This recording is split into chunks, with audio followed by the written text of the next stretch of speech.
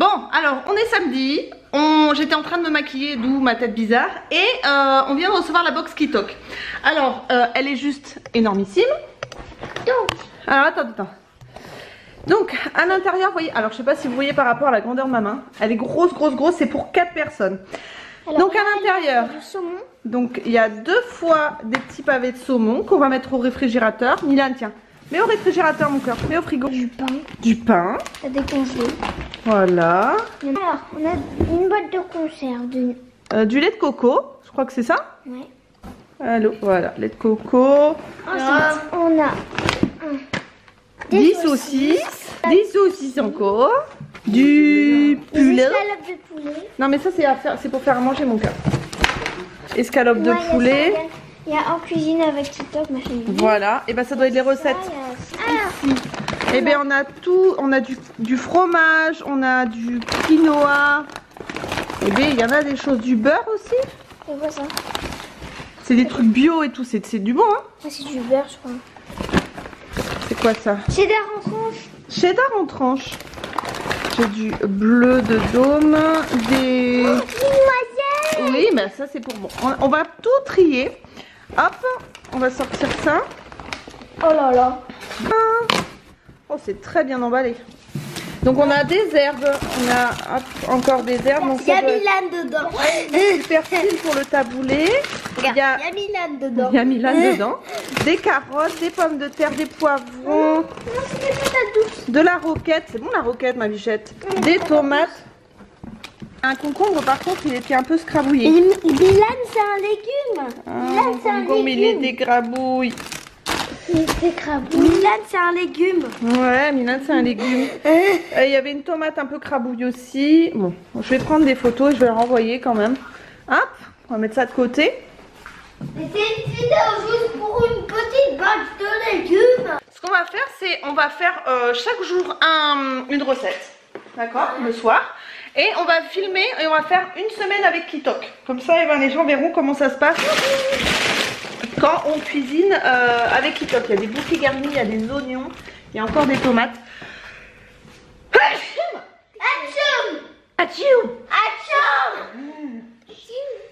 Milan.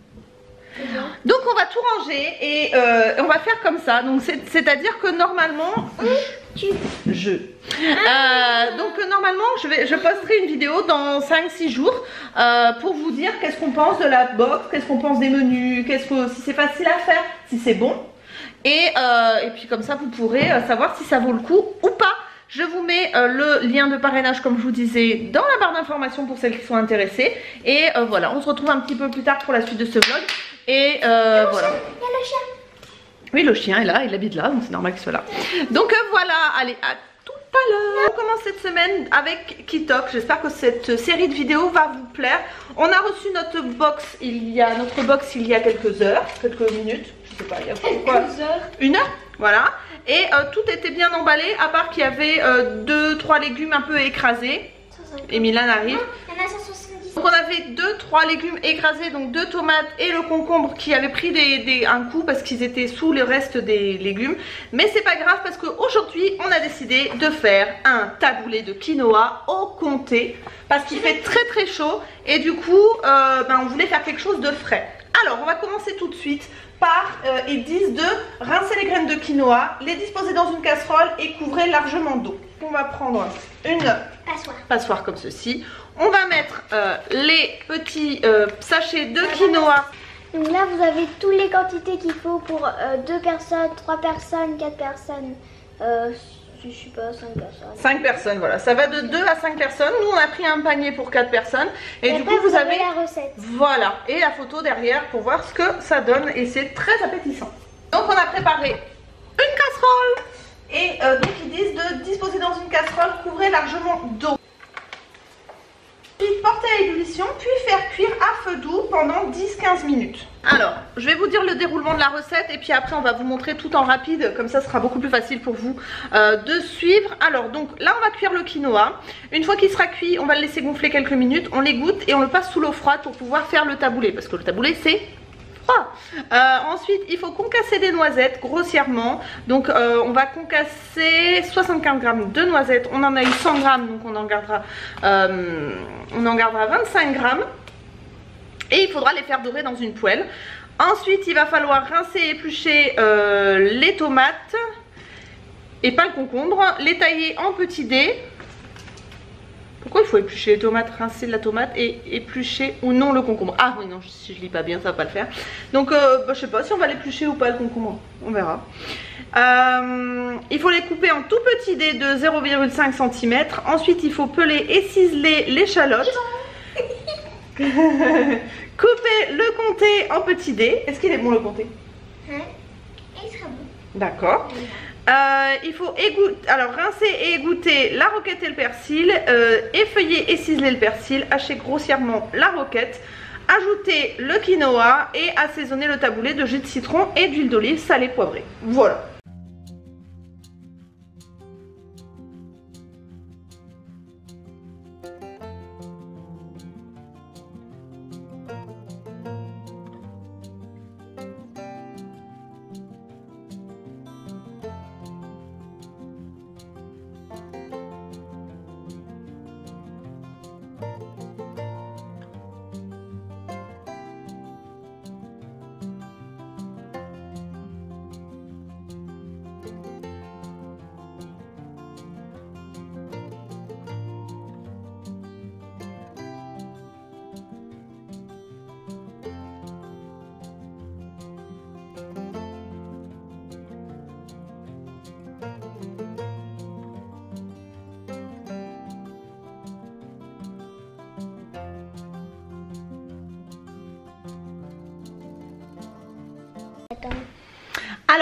Terminé et autant vous dire que, bon, c'est très appétissant, mais il y en a pour 15 euh, personnes.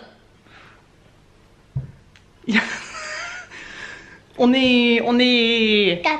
4 Il y en a pour 15 personnes. Ah ouais, là, il y en a, il y a, il y a la dosasse, quoi, il y a la dosasse. Mais ça a l'air très appétissant, on va mettre tout ça au frais et on vous donne nos impressions euh, ben, quand on aura mangé ou quand on mange, on verra. Hein? Ma bichette donc on se retrouve juste après pour la dégustation de ce taboulé, euh, voilà. On voulait vous faire le point donc pour la première recette de la Kitok. Alors, qu'est-ce que tu en as pensé ma bichette? Le taboulé au quinoa qu'on a préparé tous les deux? C'était trop trop bon. C'était une tuerie. moi, j'ai pas eu besoin de mettre de vinaigrette. Toi, t'as pas eu besoin de mettre de vinaigrette. Milan, il a pas, il a pas trop aimé. Ouais. le cheddar, je pense que C'est pas du cheddar. le fromage. ouais, le condé, je pense qu'il en avait un peu trop. Maman? Moi j'ai pas trop senti. Je pas trop senti. Milan n'a pas aimé. Ouais, c'était très bon. Milan n'a pas aimé, mais ça, on s'y attendait un petit peu. Euh, mon mari voulait rajouter de la vinaigrette. Nous, on n'a pas besoin de rajouter de, vinaigrette parce que avec tous les goûts qu'il y avait dedans, je trouvais que c'était super équilibré. Et avec le citron et l'huile d'olive, c'était parfait. Donc, euh, première recette est top. Franchement, Hein. donc on va voir pour les jours suivants. On vous retrouve donc euh, demain ou dimanche, euh, ou lundi pardon, parce que demain c'est dimanche, pour euh, ben, la prochaine recette. Voilà. Et coucou, nous sommes le jour 2 avec la Kit Dog, donc nous sommes dimanche et aujourd'hui mon mari et moi avons décidé de faire ça. Donc une salade de pommes de terre au poulet et au citron. Waouh Mais Milan, je sais pas s'il va aimer. J'aime pas les légumes. Il aime pas les légumes, mais il va manger quand même. Et euh, parce qu'il y a des pommes de terre, mon doudou, et du poulet. T'as vu les grosses patates? Donc oh, on a pour ça, on a pour ça donc euh, quelques brins de persil plat, euh, du un bouquet garni donc il faut que je le sorte, des filets de poulet, des courgettes, voilà, des carottes, des échalotes et des grosses patates. Coucou Est-ce que tu veux le faire avec moi ou pas? Ah, t'es en pyjama. Oui. non, je vais, je vais, de toute façon, là, je vais commencer juste par euh, découper les pommes de terre et les cuire parce qu'il faut porter à ébullition, ébullition de l'eau, euh, couper les pommes de terre en demi-rondelles de 1 cm et euh, les plonger dans l'eau bouillante 10 à 10 minutes. Donc, euh, et après je les passe à l'eau froide pour qu'elles soient fraîches. Donc ce que je vais faire c'est que je vais faire ça maintenant et, euh, et après je ferai le reste tranquillou parce qu'il est que midi et je pense qu'on mangera vers 1h30, 1h. Voilà, donc j'ai un petit peu de temps. Allez, c'est parti pour la préparation des ingrédients.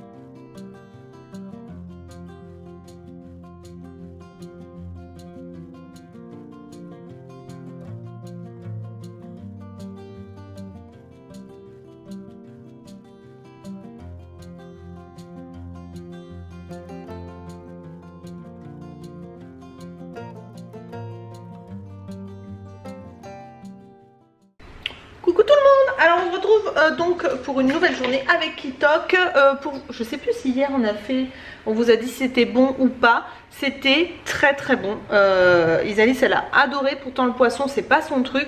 Mais elle a beaucoup aimé. Et aujourd'hui je fais ceci qui est un pain hérisson au cheddar et à la poitrine fumée. Apparemment c'est accompagné d'une euh, salade de courgettes, tomates et roquettes j'adore. Donc on va tester ça et je vais vous montrer euh, comment on fait.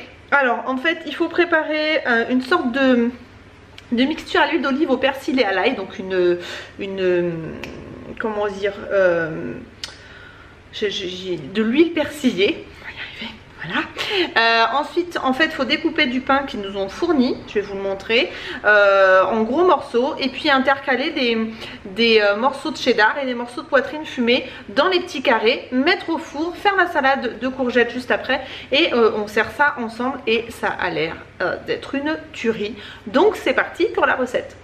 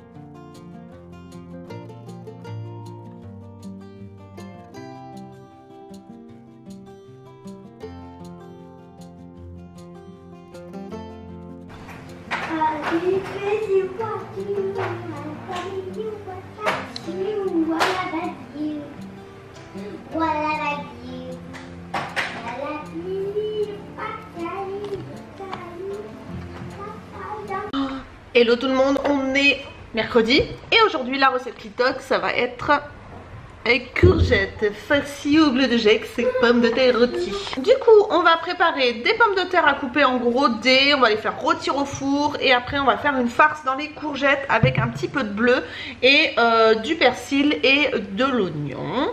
Et on va tout faire rôtir ça au four.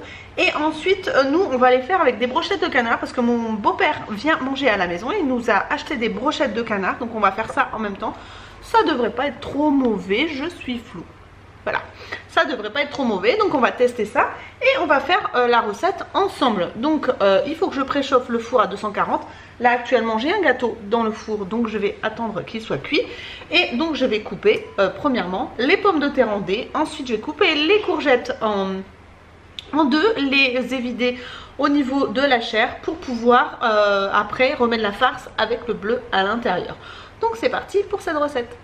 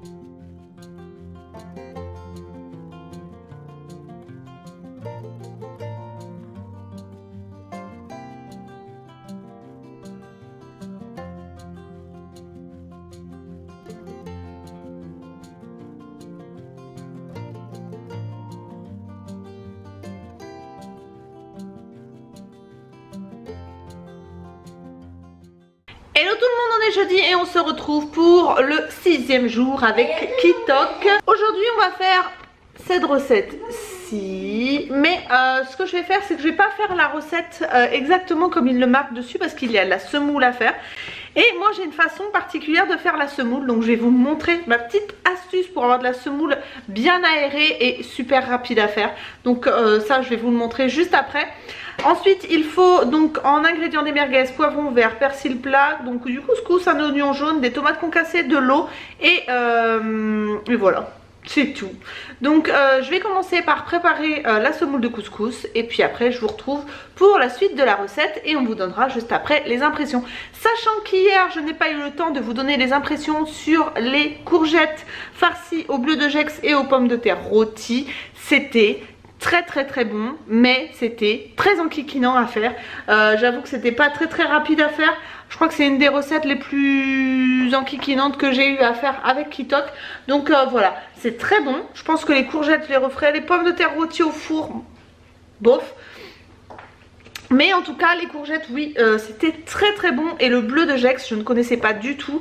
Et il est très très doux. Moi qui ai un peu de mal avec le vrai bleu enfin le vrai le bleu qu'on trouve euh, habituellement. Celui-là, je l'ai trouvé extrêmement doux et avec des courgettes, ça s'est marié très très bien. Donc c'était super bon, mon beau-père a adoré aussi. Donc euh, voilà, donc c'est parti en tout cas pour la recette d'aujourd'hui.